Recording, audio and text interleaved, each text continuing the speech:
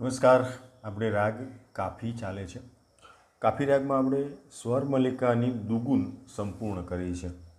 એ દુગુન તમારે પરફેક્ટ થઈ ગઈ હોય. હું જે રીતના વગાડીને બતાવું છું, મેં રીતના સમજાવેલી છે તમને કે તમારે કેવી રીતના તૈયાર કરવાની છે, રિયાઝ કેવી રીતના કરવાનું છે, એ બધું જ મેં તમને ડિટેલમાં સમજાવેલું છે. એટલે આપણે અહીંયા ડિટેલમાં જતા નથી. આપણે ચીજ ગીત શરૂ કરતાં પહેલાં ચીજ ગીતને જે શબ્દો છે કોઈપણ ગીતના શબ્દો એનો જ્યારે આપણે અર્થ સમજીએ, તો જ એનો ભાવ આપણા ગાયનમાં પ્રગટ થાય. નહીં તો એ અર્થ સમજ્યા વગર આપણે ખાલી ગાઈ નાખીએ, તો એનો ભાવ પ્રગટ થાય નહીં, એની લાગણી પ્રગટ થાય નહીં. એટલે ગીતનો મર્મ જે છે એ આખો મરી જાય છે. એનાથી ગીતનો ઉઠાવ નથી આવતો. એટલે ગીતના શબ્દોની રજૂઆત કરતાં પહેલાં ગીતના શબ્દોને સમજવા ખૂબ જરૂરી હોય છે. માટે સૌથી પહેલાં હું તમને ગીતના શબ્દોની સમજ આપી દઉં છું કે અહીંયા જો પહેલો જે છે એ રાધે. નંદ કિશોર ભજ મન એટલે રાધાજીનો નંદ એટલે કે ભગવાન કૃષ્ણ, એનું આપણે ભજન કરીએ છીએ, એમને ભજીએ છીએ.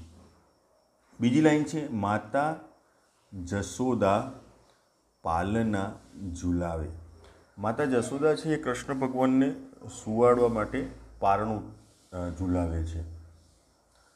ત્રીજી લાઈન, હાથ મેં રેશમ ડોર ભજમન એટલે પારણાની જે દોરી છે, એ કેવી છે? રેશમની દોરી છે. આ આપણી સ્થાયી થઈ ત્રણ લાઈનની. અંતરામાં મોર મુકુટ પિતાંબર સોહે. કૃષ્ણ ભગવાનનો જે શણગાર છે, એનું વર્ણન કરેલું છે કે મોરપીંછનો મુકુટ છે, એ એમનો માથા ઉપર સોહે છે અને પીળું પિતાંબર પહેરેલું છે.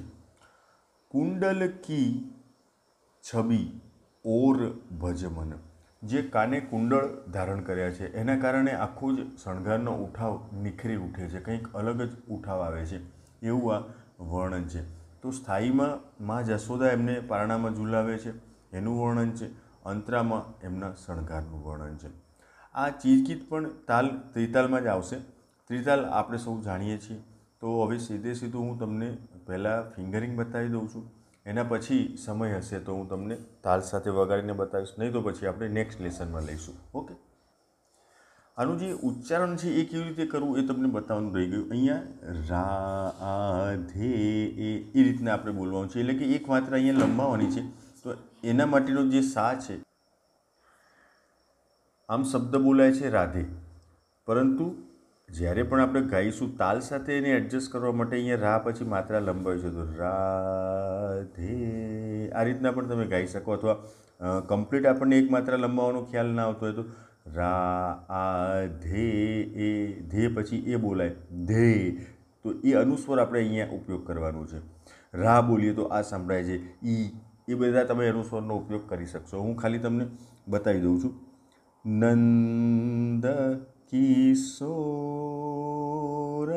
ભજ મન માતા જસોદા પાલના ઝુલાવે હાથ મેરે સમ ડોર ભજ મન મોર મુકુટ પીતાંબર સોહે કુંડલ કી છબી ઓર ભજ મન બરાબર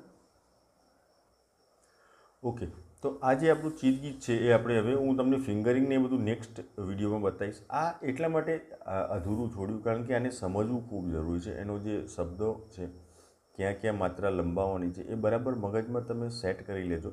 એના પછી આપણે નેક્સ્ટ વિડીયોમાં હું તમને ચોક્કસ એનું ફિંગરિંગ કેવી રીતે કરવું એ બધું સમજાવીશ અને વગાડીને પણ બતાવીશ. તો નેક્સ્ટ લેસનમાં મળીએ છીએ. આવજો. Good bye good day